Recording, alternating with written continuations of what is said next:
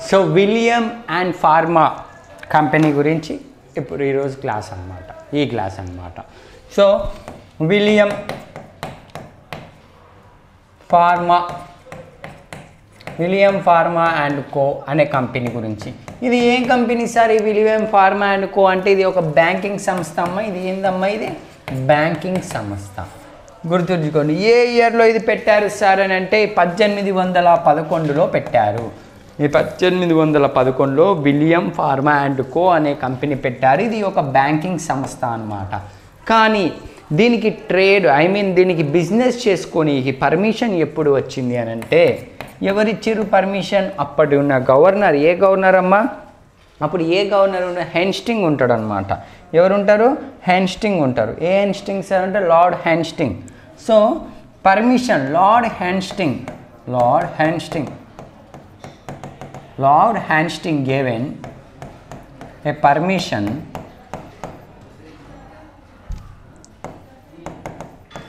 permission. Lord హెన్స్టన్ gave a permission in the year. ఏ ఇయర్లు ఇచ్చిందంటే in the year. ఇది eighteen లెవెన్లో పెట్టారు కదా ఎప్పుడు పర్మిషన్ ఇచ్చారంటే ఎయిటీన్ ఫోర్టీన్లో ఏమి ఇచ్చారంటే పర్మిషన్ ఇచ్చారు. To do business. లోన్స్ ఇచ్చుకోండి ఏమన్నా చేసుకోండి అని చెప్పి పర్మిషన్ ఎప్పుడు ఇచ్చారు అని అంటే పద్దెనిమిది వందల పద్నాలుగులో పర్మిషన్ ఇచ్చారనమాట ఎవరు ఇచ్చారు? లార్డ్ హెన్స్టెంగ్ ఇచ్చారు. దీంట్లో ఈ విలియన్ ఫార్మా అండ్ కో కంపెనీలో సభ్యులు ఎవరు? ఐ మీన్ కౌన్సిల్స్ ఎవరు? పార్ట్నర్స్ ఉంటారు కదా కౌన్సిల్స్. కౌన్సిల్స్ ఎవరెవరో చూసుకుందాం. William and Palmer and Co company అనేది ఎక్కడి నుంచి వచ్చింది సార్ అంటే ఇది లండన్ కంపెనీ అమ్మ. ఎక్కడి నుంచి వచ్చింది ఇది? లండన్ లండన్ నుంచి వచ్చిందనమాట సో వాళ్ళు ఎక్కడ పెడతా అని హైదరాబాద్లో ఎక్కడ పెడతా అని వచ్చిర్రు వీళ్ళు? హైదరాబాద్లో పెట్టారు. హైదరాబాద్లో పెట్టారు అనమాట ఎప్పుడు పెట్టారు? పద్దెనిమిది వందల పదకొండులో పెడితే దీనికి పర్మిషన్ ఎప్పుడు వచ్చింది? బిజినెస్ చేసుకోమని ఎప్పుడు వచ్చింది? బ్యాంకింగ్ రంగంలో అని అంటే పద్దెనిమిది వందల పద్నాలుగు బిజినెస్ వచ్చింది. దీనికి పర్మిషన్ ఇచ్చింది ఎవరు అని అంటే లార్డ్ హ్యాన్స్టింగ్ ఇచ్చారనమాట ఈ లార్డ్ హ్యాన్స్టింగ్ ఎవరు అని అంటే ఈ వాజ్ ది గవర్నర్ అనమాట బ్రిటిష్ గవర్నర్ అనమాట ఓకేనా రైట్ దీనిలో సభ్యులు ఎవరు? కౌన్సిల్స్ ఎవరు? విలియం ఫార్మా అండ్ కోలో సభ్యులు ఎవరు అని అంటే ఒక అతని పేరు చెప్తున్నా చూడండి అమ్మా. విలియం రాంబోల్ట్ విలియం రాంబోల్ట్ రెండో అతని పేరు ఏంటంటే Southey Southey Palmer. Henry Russell మూడోది ఎవరు అని అంటే హెన్రీ రసూల్ హెన్రీ రసూల్ నాలుగోది ఎవరు సార్ అని అంటే హెన్స్టింగ్ ఫార్మా. Hastings pharma.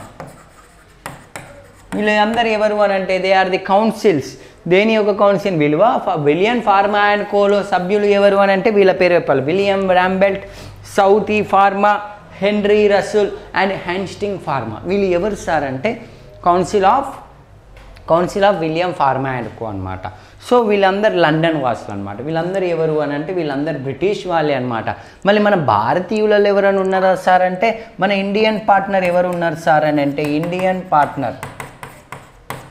మన ఇండియన్ పార్ట్నర్ ఎవరు ఉన్నారంటే చెప్తున్నా చూడండి అమ్మా బకెట్ బకెట్ బకెట్ దాస్ లేదా భాంకెట్ దాస్ అని కూడా అంటారు. బకెట్ దాస్ అనే వ్యక్తి ఉన్నాడు అనమాట ఇతను ఎవరు సార్? ఇది ఏ దేశం సార్? ఐ మీన్ ఎక్కడ సార్? ఏ రాష్ట్రం సార్ అంటే గుజరాత్ అన్నమాట.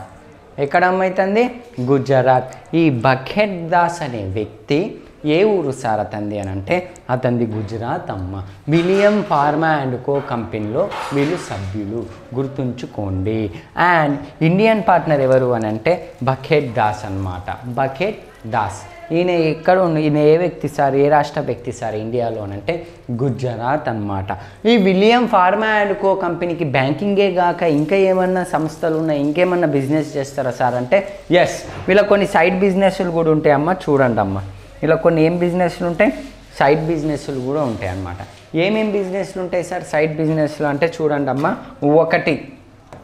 ఏమేం సైడ్ బిజినెస్లు అంటే అంటే William Palmer and Co and బ్యాంకింగే కాకుండా ఇంకా ఏమేమి ఉంటాయి అంటే ఒకటి ఏముంటుంది అని అంటే కాటన్ బిజినెస్ కాటన్ ఎక్కడుంది సార్ ఈ కాటన్ బిజినెస్ అని అంటే బీరార్ అనే ప్రాంతంలో ఉంటుంది బీరార్. రెండవది ఏంటి అని అంటే వుడ్ షిప్ షిప్ వుడ్ అంటే వుడ్ అన్నమాట. ఆ వుడ్తోని షిప్స్ తయారు చేస్తారు అందుకే ship wood ship wood factory ఉంటుంది. ఈ షిప్ వుడ్ ఫ్యాక్టరీ అనేది ఎక్కడ ఉంటుంది సార్ అని అంటే గోదావరి రివర్ దగ్గర ఉంటుంది. ఇంకా ఏముంది సార్ మూడవది అని అంటే బ్యాంకింగ్. ఏందమ్మా? బ్యాంకింగ్ రంగం ఎక్కడ ఉంది సార్ అని అంటే హైదరాబాద్. సో కాటన్ బిజినెస్ ఉంది వుడ్ మేకింగ్ అంటే షిప్ వుడ్ మేకింగ్ బిజినెస్ ఉంది. అండ్ బ్యాంకింగ్ రంగంలో వీళ్ళకి మూడు ఏంటంటే ఇవి సైడ్ బిజినెస్ అన్నమాట side businesses so William Palmer and Co company అనేది it was established in the year eighteen eleven and it given the permission permission ఎప్పుడు తెచ్చుకుంది బిజినెస్ చేయనీకంటే పద్దెనిమిది వందల పద్నాలుగు. ఇచ్చింది ఎవరు అంటే లార్డ్ హెన్స్టింగ్ అనమాట ఓకేనమ్మా గుర్తుంచుకోండి. సో ఇప్పుడు ఏంది అని అంటే పద్దెనిమిది వందల పద్నాలుగులో విలియం ఫార్మా అండ్ కో కంపెనీకి ఎవరి యొక్క పర్మిషన్ కూడా కావాలి ఇంకా?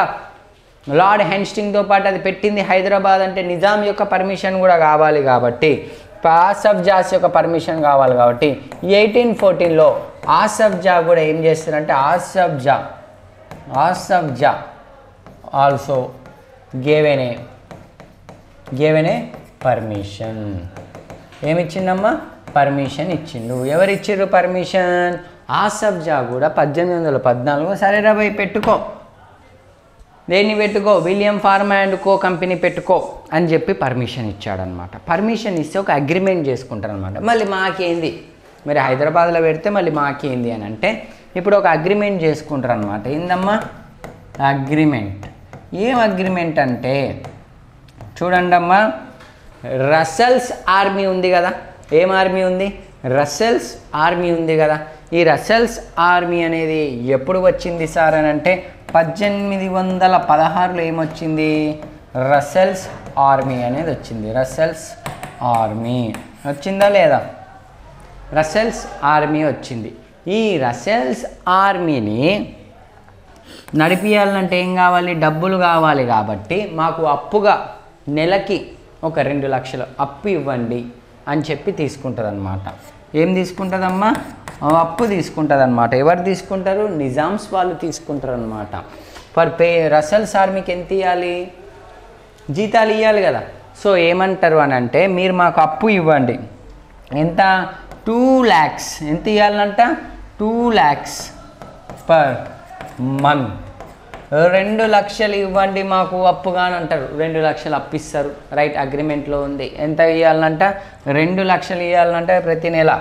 దాన్ని ఎలా వసూలు చేస్తారంట? Only in cash. దేంట్లో అంట ఓన్లీ ఇన్ క్యాష్. క్యాష్ రూపంలో పే చేయాలంట. ఎవరు? Asaf. Jah. Only in cash. వాళ్ళకి ఎట్లా? విలియం అండ్ ఫార్మా కంపెనీకి ఎలా ఇవ్వాలి అని అంటే ఎలా పే చేయాలి అని అంటే ఓన్లీ ఇన్ క్యాష్. క్యాష్ రూపంలో పే చేయాలంట ఆసఫ్ జాస్. ఎవరికి?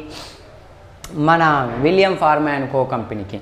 ఇంకా మూడోది ఏంది సార్ అని అంటే దీని యొక్క ఇంట్రెస్ట్ ఈ రెండు లక్షల అప్పు ఇచ్చారు కదా ప్రతి నెల. ఈ రెండు లక్షల అప్పు ఎంత పర్సెంట్కి ఇస్తారు అని అంటే ట్వంటీ ఫోర్ పర్సెంట్కి ఇస్తారు. ఎంత పర్సెంట్కి ఇస్తారమ్మా? ట్వంటీ ఫోర్ పర్సెంట్కి ఇస్తారు అనమాట ఇరవై నాలుగు పర్సెంట్తో ప్రతి నెల రెండు లక్షలు ఇస్తారు. ఎవరు ఇస్తారు? William and Palmer Co. ఎవరికి? ఈ రసల్స్ ఆర్మీకి అంటే ఎవరికి నిజామ్స్ వాళ్ళకే ఇస్తారు రసల్స్ ఆర్మీ నడిపియాలి కాబట్టి. గుర్తుంచుకోండి. సో అది ఎలా చెల్లించాలంటే? Asaf Jahs only in cash రూపంలో చెల్లించాలంట. ఇంకా ఏముంటుంది సార్ అని అంటే విలియం అండ్ ఫార్మా కంపెనీకి ఏ కంపెనీకి? William and Palmer William and కాదు విలియం ఫార్మా అండ్ కో కంపెనీకి. కో ఉంది కదా William Palmer and Co company ఉంది కదా. కంపెనీ ఫ్యామిలీస్కి. విలియం ఫార్మా అండ్ కో ఫ్యామిలీస్కి ఏమి ఇవ్వాలంటమ్మా ప్రతి నెల పెన్షన్ ఇవ్వచ్చు ఎవ్రీ ఇయర్ పెన్షన్ ఇవ్వాలంట ఎంత అంటే ఎయిటీ థౌజండ్ రూపీస్ పెన్షన్ ఇవ్వాలి ఎయిటీ థౌజండ్ రూపీస్ ఏమి ఇవ్వాలంట పెన్షన్. ఎవరు ఇవ్వాలంట విలియం ఫార్మా అండ్ కో కంపెనీకి ఎయిటీ థౌజండ్ రూపీస్ పెన్షన్ ఇవ్వాలంట ఎవరు ఇవ్వాలంట పెన్షన్ గివెన్ బై నిజామ్స్. ఎవరు ఇవ్వాలంట బై.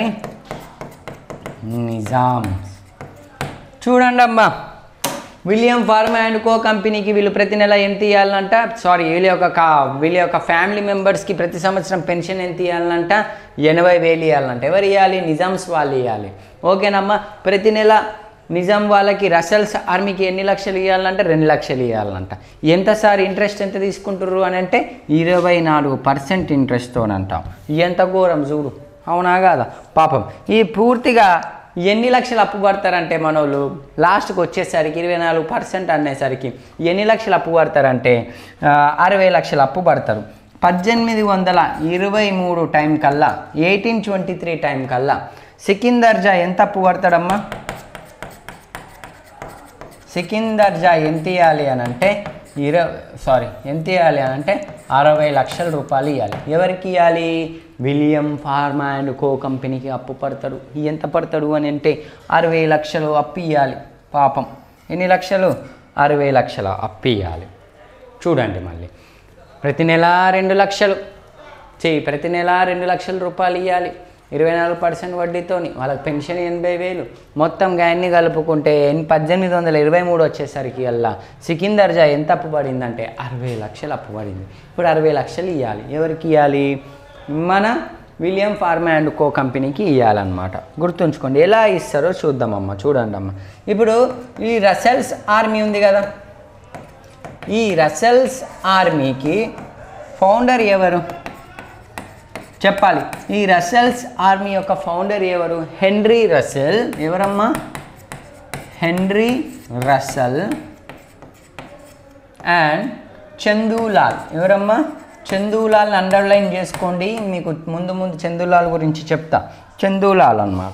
గుర్తుంచుకోండి ఈ రసెల్స్ ఆర్మీ అనేది ఇంట్రడ్యూస్ చేసింది ఎవరు? ఫౌండర్ ఎవరు అంటే హెన్రీ రసూల్ అండ్ చందూలాల్ అనమాట గుర్తుంచుకోండి. అయితే ఇప్పుడు ఏదైతే ఓ రెండు లక్షలు ప్రతి నెల వస్తున్నాయో వీరు కొద్దిగా దుర్వినియోగం చేస్తున్నారనమాట ఎవరు దుర్వినియోగం చేస్తున్నారు మన చందులాలు మరియు హెన్రీ. రెండు లక్షలు వస్తున్నాయి కదా ఫ్యామిలీ శాలరీస్ ఇవ్వాలి కదా ఆర్మీకి శాలరీస్ ఇవ్వాలి కదా. వీళ్ళు కొద్దిగా దుర్మార్గం దుర్మార్గాలు అవి చేసి పాపం అరవై లక్షలు అప్పు పడింది అనమాట ఎవరికి అప్పు పడింది? మన సికిందర్ జాకి. అయితే ఇప్పుడు చూడండి అమ్మా. Chandulal Charles Metcalfe. ఎవరమ్మా? చార్లెస్. మెట్కాఫ్. పద్దెనిమిది వందల ఇరవై నుంచి ఇరవై ఐదు మధ్య కాలంలో ఉంటాడు. ఓకేనమ్మా? ఈ చార్లెస్ మెట్కాఫ్కి ఏమని తెలుస్తుంది అని అంటే హెన్రీ అండ్ చందులాల్. ఈ హెన్రీ చంద్రులాల్ వల్లనే అరవై లక్షలు అప్పుపడ్డారు అని తెలుస్తుంది అనమాట వీళ్ళ యొక్క ఏందమ్మా? వీళ్ళ యొక్క దుర్మార్గం వల్లనే ఏమైంది అని అంటే అరవై లక్షలు అప్పు పడింది అని తెలుస్తుంది. ఎవరికి ఈ చార్లెస్ మెట్కాఫ్కి తెలుస్తుంది అనమాట హెన్రీ అండ్ చందులాల్ అని. సో చార్లెస్ మెట్కాఫ్ ఏం చేస్తాడు అని అంటే చార్లెస్ మెట్కాఫ్ ఏం చేస్తాడు అని అంటే వీళ్ళ యొక్క దుర్మార్గం వల్ల ఏమైంది అని అంటే నిజామ్స్కి అన్యాయం జరిగింది. అంటే సికిందర్ జా పాపం చదువుకున్నోడు కాదు మనకి తెలుదు. సో ఈ చార్లెస్ మెట్కాఫ్ ఏం చేస్తారంటే పాపం వీ అరవై లక్షలు విలియం అండ్ ఫార్మాకోకి పా కట్టేయాలని చెప్పి వెంటనే మెట్కాఫ్ ఏం చేస్తాడు అని అంటే చార్లెస్ మెట్కాఫ్. ఎవరమ్మా? Charles Metcalfe. Men Charles Metcalfe. Charles Metcalfe ఎక్కడికి వెళ్తారంటే ఎవరి దగ్గరికి వెళ్తారంటే వెంటనే చార్లెస్ మెట్కాఫ్ ఎవరి దగ్గరికి వెళ్తాడు అని అంటే బ్రిటిష్ గవర్నర్ దగ్గరికి వెళ్తాడు. ఎందుకు వెళ్తాడు అని అంటే మనీ అడగనీకి వెళ్తాడు అనమాట Charles wet Metcalfe went to went to ask money. ఎవరికి అడుగుతారమ్మా money? To British governor. ఎవరికమ్మా? British గవర్నర్కి అడుగుతారు. బ్రిటిష్ గవర్నర్కి అడుగుతారు. గుర్తుంచుకోండి చార్లెస్ మెట్కాఫ్ ఎవరి దగ్గరికి వెళ్తాడు? వెంట టు బ్రిటిష్ గవర్నర్ అప్పుడు బ్రిటిష్ గవర్నర్ ఎవరు? Lord Hastings. ఎవరికి అడుగుతారు? Lord Hastings. లార్డ్ హెన్స్టింగ్ దగ్గరికి వెళ్ళి Lord Hastings Lord Hastings Nizam వాళ్ళకి అరవై లక్షలు అప్పు కావాలంట మీరు ఇవ్వండి దయచేసి అని అంటాడు. సరే రేపు రా చూద్దాం అది ఇది అని అంటాడు. ఓ వెంటనే లార్డ్ హ్యాండ్స్టింగ్ ఎవరు ఫోన్ చేసినట్టు అలా భార్య ఫోన్ చేస్తుంది. ఇంకెప్పుడు గానే ఉంటావు? ఇండియాలోనే ఉంటావు? మా దగ్గర రారా? మా మా దగ్గర రావా నీకు భార్య వద్దా పిల్లలు వద్దా అని అంటారు. ఎవరంటారు? వీళ్ళ ఒక భార్య. వెంటనే ఏమైపోతాడు అని అంటే Charles met Lord Hastings went went London London వెళ్ళిపోతాడు లండన్ వెళ్ళిపోగానే లార్డ్ హెన్స్టింగ్ ప్లేస్లో ఇంకొక గవర్నర్ రావాలి కదా. వెంటనే ఆయన వెళ్ళిపోయిన వెంటనే ఇంకొక గవర్నర్ వస్తాడు. ఆ గవర్నర్ పేరు ఏం పేరు అని అంటే జాన్ యాడమ్ ఎవరమ్మా? జాన్ యాడమ్ ఈ జార్డ్ యాడమ్ వస్తాడు అనమాట ఎవరి తర్వాత? లార్డ్ హెన్స్టింగ్ తర్వాత ఈ జార్డ్ యాడమ్ వస్తాడు. అయితే ఈ చార్లెస్ మెట్కా పోయి జార్డ్ యాడమ్కి ఏమంటారు అంటే జార్డ్ యాడమ్ జార్డ్ యాడమ్ అరవై లక్షలు కావాలి నిజామ్స్ వాళ్ళకి ఇవ్వాలి ఇద్దాం మనం అప్పు కావాలంట వాళ్ళకి. ఎంత కావాలంట? అరవై లక్షలు అప్పు కావాలంట వాళ్ళకి అని.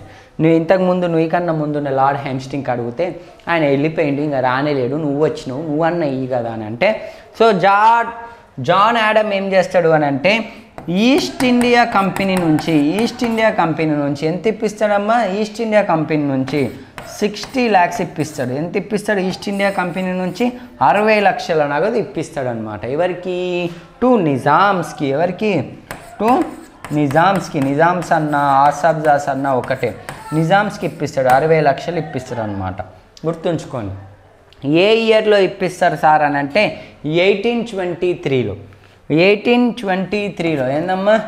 ఎయిటీన్ ట్వంటీ త్రీలో ఈస్ట్ ఇండియా కంపెనీ నుంచి ఎన్ని లక్షలు వస్తాయి? సిక్స్టీ ల్యాక్స్ ఇస్తారు. ఎవరికి ఇస్తారు? నిజామ్స్కి ఇస్తారు. ఎవరు ఇస్తారు? బ్రిటిష్ వాళ్ళు ఇస్తారు. ఈస్ట్ ఇండియా కంపెనీ నుంచి అరవై లక్షలు నిజామ్స్కి వస్తాయి అన్నమాట. అప్పుడు ఎవరు సార్ గవర్నరు అని అంటే జాన్ యాడమ్ ఎవరు? జాన్ యాడమ్ ఎట్టకేళ్ళకి ఇప్పిస్తాడు. ఇప్పేసేస్తారు ఇప్పించేసి కట్టేపిస్తాడు అయితే మీకు విషయం చెప్తా చూడండి. ఎనిమిది ప- పద్దెనిమిది వందల ఇరవై మూడులో అప్పు తీరిపోతుంది. అప్పు తీరిపోయిన సంవత్సరానికి ఏమైపోతుంది అంటే ఈ కంపెనీ మూతపడిపోతుంది ఏ కంపెనీ? ఎయిటీన్ ట్వంటీ ఫోర్లో William Palmer and Co company was. Company was. ఏందమ్మా? Totally close William Palmer and company అనేది పద్దెనిమిది వందల ఇరవై నాలుగులో మూతబడిపోతుంది. పద్దెనిమిది వందల ఇరవై మూడులో అరవై లక్షలు ఇస్తారు. కానీ పద్దెనిమిది వందల ఇరవై నాలుగులో ఏమైపోతుంది అంటే ఈ కంపెనీ అనేది పూర్తిగా మూతబడిపోతుంది. ఎందుకంటే బై ద లాసెస్ నష్టాలు వచ్చి కంపెనీ మూసేస్తారమ్మా పద్దెనిమిది వందల ఇరవై నాలుగులో. అయితే ఇప్పుడు చూడండి.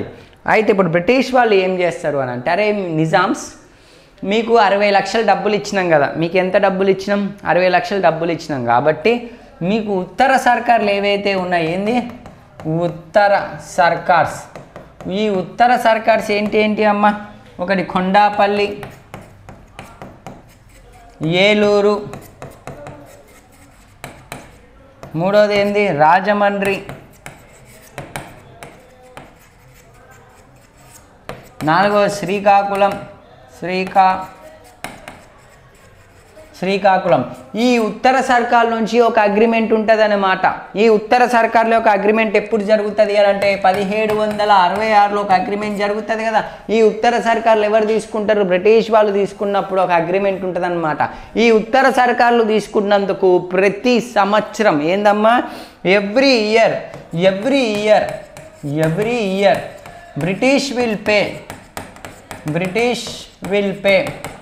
Nine lakhs to Nizams. ఎన్ని లక్షలు కడుతుందంటమ్మా? మీకు సర్కారు నా ప్రీవియస్ క్లాస్లో చెప్పినా కదా మీకు? తొమ్మిది లక్షల అగ్రిమెంట్లో ఉంటుంది. ప్రతి నెల తొమ్మిది లక్షలు కట్టాలి అని ప్రతి సంవత్సరం తొమ్మిది లక్షలు కట్టాలని.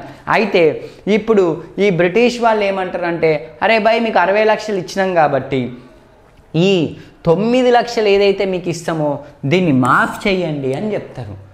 సో ఏం చేస్తారు అని అంటే అప్పుడు ఏమవుతుంది అని అంటే ఎయిటీన్ ట్వంటీ త్రీలో ఏం చేస్తారంటే in the year eighteen twenty three అరవై లక్షలు ఇచ్చిన వెంటనే నైన్ ల్యాక్స్ ఏదైతే ట్యాక్స్ ఉందో ట్యాక్స్ ఆ nine lakhs should cancelled totally by Nizam by Nizams ఈ నిజామ్స్ ఏం చేస్తారు అని అంటే నిజాం వాళ్ళు ఏం చేస్తారు అంటే ఈ- ఈ ఆసఫ్ జాస్ ఏం చేస్తారు అంటే తొమ్మిది లక్షలు ఏదైతే ఉత్తర సర్కార్ నుంచి ప్రతి సంవత్సరం ఎవరికి వస్తున్నాయి? ఈ బ్రిటిష్ వాళ్ళకు వస్తున్నాయి కాబట్టి ఎవరికి వస్తున్నాయి? బ్రిటిష్ వాళ్ళకు వస్తున్నాయి కాబట్టి మీకు అరవై లక్షలు డబ్బులు ఇచ్చినాం కాబట్టి మీ తొమ్మిది లక్షలు ఏవైతే మీకు సంవత్సరానికి ఇస్తున్నామో అవి క్యాన్సిల్ చేయండి అని అంటే సరే రవై క్యాన్సిల్ చేస్తాం పోండి అని చెప్తారు. సో పాస్ పాస్కాక్స్ వీటిని ఏమంటారు? పాస్కస్. Tax was totally cancel totally cancel అర్థమైందా? సో ఇలాగ అరవై లక్షలు వచ్చినాయి. అరవై లక్షలు పే చేసేసారు అయిపోయింది. పాస్ కాస్ట్ ట్యాక్స్ని రద్దు చేసేయమన్నారు అంటే పాస్ కాస్ట్ అంటే తొమ్మిది లక్షల ట్యాక్స్ ఏదైతే ఉందో బ్రిటిష్ వాళ్ళు ఇస్తున్నారో ఈ ఉత్తర సర్కార్ వాళ్ళు అది క్యాన్సిల్ చేయండి అంటే క్యాన్సిల్ చేసేస్తారు. ఇది ఈడికి అయింది అనమాట సో నెక్స్ట్ ఏంది అని అంటే రసల్స్ ఇన్ఫాంటరీ చెప్తా మీకు. ఈ రసల్స్ ఆర్మీ గురించి చెప్తే చూడండి అమ్మా. నెక్స్ట్ రసల్స్ ఇన్ఫాంటరీ రసక్ సైనిక దళం అంటారు రసల్ సైనిక దళం ఇంగ్లీష్లో రసల్స్ ఇన్ఫాంటరీ అని అంటారు. గుర్తుంచుకోండి. అయితే it was established in the year ఎప్పుడు ఇంట్రడ్యూస్ అవుతుందో మీ అందరికీ తెలుసు. అయితే దీని యొక్క ఫౌండర్ ఎవరు? దీని యొక్క ఫౌండర్ ఎవరు అని అంటే Henry Russell and Chandulal so వీళ్ళిద్దరు పార్ట్నర్లు కాబట్టి ఈ రసెల్స్ ఇన్ఫాంటరీ యొక్క ఆర్మీని ఆ రస్సెల్స్ ఇన్ఫాంటరీ ఆర్మీ యొక్క ప్రేడు ఏమని పెడతారు అని అంటే రస్సెల్స్. Brigade brigade force. ఈ రసెల్స్ బ్రిగేడ్ ఫోర్స్. ఏందమ్మా? ఈ రసెల్స్ బ్రిగేడ్ ఫోర్స్. ఈ రసెల్ బ్రిగేడ్ ఫోర్స్ తర్వాత కాలంలో ఏమని పేరు చేంజ్ అవుతుందంటే Hyderabad contingent force. Hyderabad contingent force అవుతుంది. ఏమవుతుందమ్మా? హైదరాబాద్ కాంటింజెంట్ ఫోర్స్ అవుతుంది. ఈ హైదరాబాద్ కాంటింజెంట్ ఫోర్స్ని పద్దెనిమిది వందల ఇరవై సారీ పద్దెనిమిది వందల యాభై మూడు మే ఇరవై ఒకటిన ఈ Hyderabad contingent force was merged with. ఎవరితో మెర్జ్డ్ అవుతుందమ్మా? Merged with British army army? British army. ఈ బ్రిటిష్ ఆర్మీతోని ఏమైపోతుంది అంటే మెర్జ్ అయిపోతుంది ఇప్పుడు చూడండి రసల్స్ ఇన్ఫాంటరీ ఆర్మీ యొక్క పేరు ఏంది అని అంటే రసల్స్ బ్రిగేడ్ ఆర్మీ. ఈ రసల్స్ బ్రిగేడ్ ఆర్మీ రానున్న రోజులు ఏమవుతుందంటే హైదరాబాద్ కంటింజెంట్ ఫోర్స్గా అవుతుంది ఈ హైదరాబాద్ కంటింజెంట్ ఫోర్స్ అనేది పద్దెనిమిది వందల యాభై మూడు మే ఇరవై ఒకటిన ఏమవుతుంది అని అంటే మెర్జ్డ్ అవుతుంది దేంట్లో మెర్జ్డ్ అవుతుంది సార్ అని అంటే బ్రిటిష్ ఆర్మీలో మెర్జ్డ్ అవుతుంది ఎందుకు మెర్జిడ్ అవుతుంది దేనికి మెర్జిడ్ అవుతుంది అని అంటే మీకు రానున్న కాలంలో ముందు ముందు నజరుద్దీన్ ఉల్లా టైం పీరియడ్లో మీకు చెప్తా అసలు ఎందుకు ఇది ఇట్లా మెర్జిడ్ అయిందో అని. మీకు ఇంకా చందులాల్ని కూడా అండర్లైన్ చేసుకొని పెట్టుకోండి చందులాల్ గురించి కూడా మీకు చెప్తా. ఆయన అహోబిలం టెంపుల్ కూడా కడతాడు కర్నూల్లో. ఆయన్ని గుర్తుపెట్టుకోండి. ముందు ముందు చందులాల్ గురించి కూడా నేను మీకు చెప్తా. టెన్షన్ తీసుకోవద్దు. సో ఇప్పటిదాకా మనం చూసింది ఏంది అని అంటే ఇది అంతా సికిందర్ జా. ఏందమ్మా? సికిందర్ జా. గుర్తుంచుకోండి సికిందర్ జా. కింగ్ గురించి సుల్తాన్ గురించి లేదా రాజు గురించి ఆ కాలంలో ఏమేమి జరిగినాయో మనం చెప్పుకుందాం. దీని తర్వాత నెక్స్ట్ వచ్చే కింగ్ ఎవరు అని అంటే మీ అందరికీ తెలుసు ఎవరో చెప్పండి నజీర్ ఉద్దీన్ ఉల్లా. నెక్స్ట్ కింగ్ ఎవరు? నజీర్ ఉద్దీన్ ఉల్లా. నజీర్ ఉద్దీన్ ఉల్లా. ఈ నజీరుద్దీన్ ఉల్లా యొక్క కాలం ఏంది సార్ అంటే పద్దెనిమిది వందల ఇరవై తొమ్మిది నుంచి పడితే యాభై ఏడు వరకు. పద్దెనిమిది వందల యాభై ఏడు వరకు ఉంటాడు. ఇతన్ని ఏమంటారు అని అంటే ఈయనని నాలుగవ నిజాం అంటారు. Is known as is known as fourth Nizam. ఎన్నో నిజాం అంటేనా? నాలుగవ నిజాం అంటాం. What is the original name of Nasiruddin Ullah ఇతని యొక్క ఒరిజినల్ నేమ్ ఏంది అని అడుగుతాడు మీకు ఎగ్జామ్లో ఒరిజినల్ నేమ్ ఏంది? చెప్పాలి. ఎవరన్నా చెప్తే వాళ్ళకి చాక్లెట్ ఇస్తా. మీర్ ఫార్ ఖుదా. మీర్ ఫార్ ఖుదా. అలీ ఖాన్ అలీ ఖాన్ నజీరుద్దీనుల్లా మీర్ ఫార్కుదా అలీ ఖాన్ నజీర్ ఉద్దీన్ ఉల్లా అని అంటారు. ఎవరి యొక్క ఒరిజినల్ నేమ్ నజీరుద్దీన్ ఉల్లా ఒక ఒరిజినల్ నేమ్ ఇతని యొక్క కాంటెంపరీ బ్రిటిష్ గవర్నర్స్ ఎవరో చూసుకుందాం. ఇతని కాలంలో చాలామంది మారుతారమ్మా. దాదాపుగా ఏడు మంది వస్తారు. ఎంతమంది వస్తారు? ఏడు మంది బ్రిటిష్ గవర్నర్స్ వస్తారు. Eighteen twenty seven to eighteen fifty seven మధ్య కాలంలో ఎంతమంది వస్తారు అని అంటే సెవెన్ గవర్నర్స్ వస్తారు. వాళ్ళు ఎవరో మనం చూసుకుందాం. ఓకేనమ్మా? రైట్. ఇప్పుడు చూడండి. ఎవరెవరు సార్ ఇతని యొక్క కాంటెంపరీ గవర్నర్స్ అంటే చూడండి అమ్మ బ్రిటిష్ గవర్నర్స్ ఈయన ఉన్న కాలంలో బ్రిటిష్ గవర్నర్స్ ఎవరు? మీ అందరికీ తెలుసు ఒక అతను ఎవరు అని అంటే William Bentinck. ఎవరుంటారమ్మా? William Bentinck. William Bentinck. ఓకేనమ్మా? రెండవది ఎవరు సార్? విలియం బెంటిక్ తర్వాత అంటే చార్లెస్. ఎవరమ్మా? Charles Metcalfe. Charles Metcalfe. మూడోది ఎవరు సార్ అంటే Lord Auckland. Lord Auckland.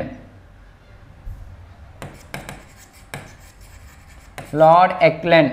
నాలుగోది ఎవరు సార్ అంటే ఎలియన్ బ్యారో ఎలియన్ బ్యారో ఐదోది ఎవరు సార్ అని అంటే Lord Hardinge.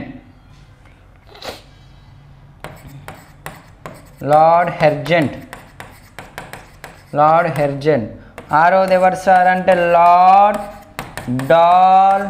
Dalhousie who was the father of Indian railways? Lord Dalhousie గుర్తుంచుకోండి. ఫాదర్ ఆఫ్ ఇండియన్ రైల్వేస్ అంటాం ఇతన్ని. Father of Indian railways. గుర్తుంచుకోండి రా night seventh Lord Canning Lord Canning. ఓకేనమ్మా గుర్తుంచుకోండి William Bentinck Charles Metcalfe Lord Auckland line Ellenborough Lord Lord Hardinge Lord Dalhousie Dalhousie Lord Canning. వీళ్ళందరూ ఎవరి యొక్క సమకాలికులు? సార్ ఎవరి యొక్క కాంటెంపరీ అంటే నజీరుద్దీన్ ఉల్లా యొక్క సమకాలికులు? వీళ్ళ యొక్క టైం పీరియడ్ కూడా రాస్తా చూడండి అమ్మా eighteen twenty eight to eighteen thirty five next ఎవరు సార్ అని అంటే eighteen thirty five to eighteen thirty six ఈ ఎయిటీన్ కనిపిస్తుందా board? Right eighteen thirty six to forty two eighteen forty two to forty four eighteen forty four to forty eight eighteen forty eight to eighteen forty eight to eighteen fifty six eighteen fifty seven to sixty two ఓకేనమ్మా Lord Canning. గుర్తుంచుకున్నమ్మా William Bentinck Charles Metcalfe Lord Auckland Ellenborough Ellenborough Lord Hastings Lord Hardinge sorry Hastings అను Lord Hardinge Lord Dalhousie Lord Canning. గుర్తుంచుకోండమ్మా ఓకేనా? So వీళ్ళందరూ British governors అనమాట next దీని తర్వాత ఎవరు వస్తారు sir అంటే మన నజీరుద్దీన్ ఉల్లా యొక్క దివాన్లు ఎవరు? దివాన్స్. దివాన్లుగా ఎంతమంది పనిచేశారు అని అంటే Nawab Munir ul Mulk. Time period. Okay? Next one. Nawab Munir ul Mulk. తర్వాత ఎవరు సార్ అని అంటే చందూలాల్. గుర్తుంచుకోండి చందూలాల్. చందూలాల్. చెప్పిన చందులాల్ని గుర్తుపెట్టుకొని చెప్తా అని eighteen forty six to forty eight ఈ మధ్యకాలంలో కనిపిస్తారు. మూడోది ఎవరు సార్ అని అంటే సిరాజ్ సిరాజ్ ఉల్ ముల్క్. టైం పీరియడ్ ఎంత సార్ అని అంటే eighteen fifty one to Siraj ul చందులాల్ది forty two అమ్మ సారీ ఒక్క నిమిషం. చందులాల్ యొక్క టైం పీరియడ్ ఎంత అంటే eighteen thirty two to forty two. ఇతనిది ఎప్పుడు సార్ అని అంటే eighteen forty six to forty eight. మళ్ళీ వస్తాడమ్మా. Eighteen fifty one to fifty three మధ్యకాలంలో మళ్ళీ మనకు కనిపిస్తాడు. నాలుగోది ఎవరు అంటే very very important. Salar Jung one. Mir Turab Ali Khan. Salar Jung one యొక్క ఫుల్ నేమ్ ఏంటంటే మీర్ తురాబ్ అలీ ఖాన్ గుర్తుంచుకోండి అమ్మా